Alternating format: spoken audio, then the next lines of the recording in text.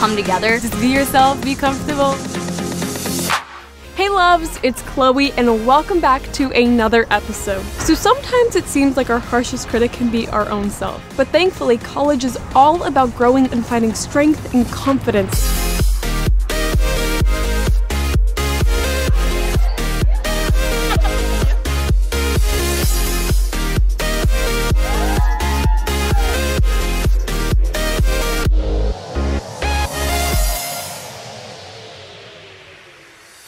So I'm sure some of you out there are just like me, and I spend more time than I would care to admit fixating on all the things I don't like about myself and all the things I want to change about myself. And with college just around the corner for me, I'm dying to know how people are able to turn negative thoughts into positive ones. So let's meet two college students who are embracing their whole selves and being incredible role models in the process. 20 year old McKenzie is all about advocating for increased mental health awareness, using her own story to help bring others into the conversation.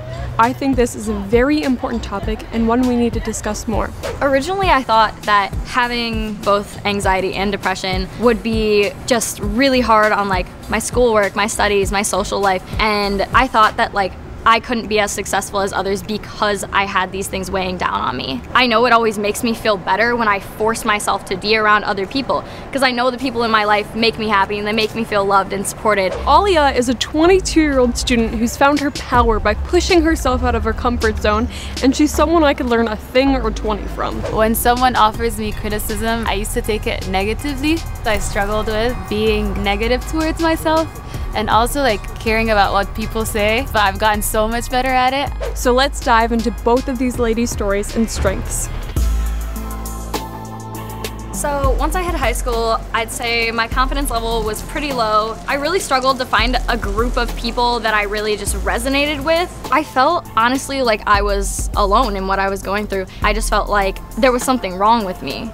And that's not the case at all. I grew up most of my life in Egypt. I lived like 15 minutes away from the pyramids, so that was interesting. my parents, my grandmas, my grandpas, my uncles, my aunts, everyone lived there. I had so many different friends because like it's kind of a small world. it was so hard to leave everyone and to just being in a different continent. I used to be a lot more shy. It would be hard for me like to talk to people. It was harder for me to be myself. So many of us are like McKenzie and Alia, feeling pretty isolated in our own negativity. I can really relate to that. But thankfully, college is all about opening us up to self acceptance. Now let's see how these fierce ladies are making a real impact on their campuses something I hope I'm able to do when I start college. So when I got to campus, I found out about the Ask, Listen, Save Club, and basically what we're working towards is gaining mental health resources all over the states of Wisconsin, the state of Illinois, so that no one has to go through the same things I went through alone.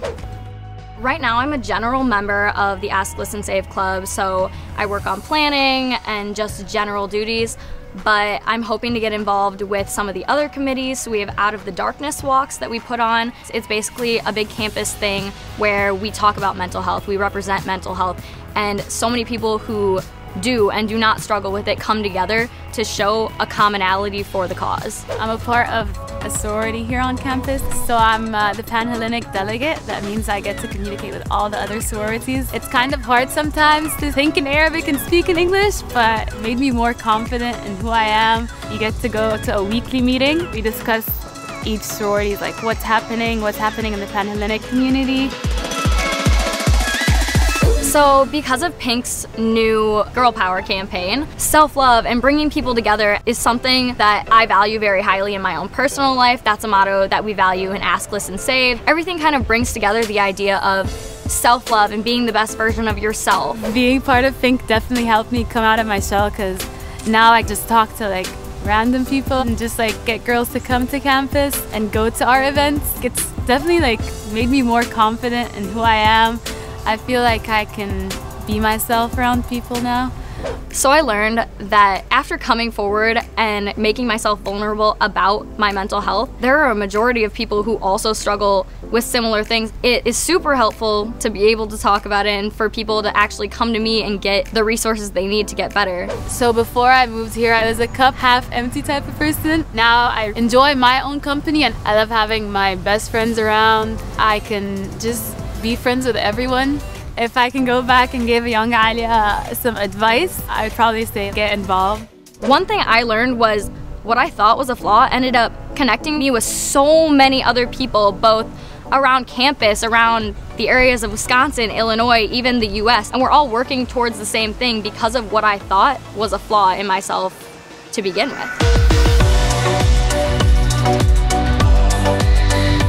Alia and McKenzie are just a few examples of girls who are leading the charge of self acceptance in college. Well, thank you guys so much for watching this episode. I hope you enjoyed, and be sure to tune in for the next one because I'll be continuing the series on college girl profiles. Comment below something about yourself you used to think was an imperfection, but now you embrace. Check out Pink's YouTube channel to learn more, and I'll see you soon. Bye, guys!